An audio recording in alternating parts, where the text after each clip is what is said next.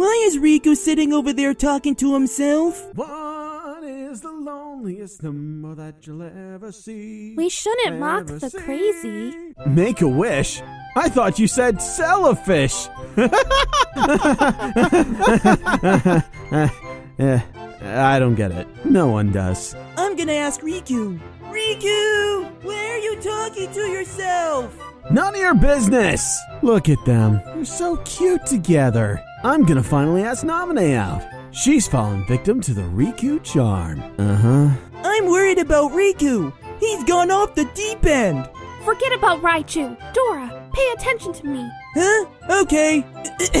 so, Kairi, how goes the training? I heard you and Axel are becoming Keyblade wielders. Training?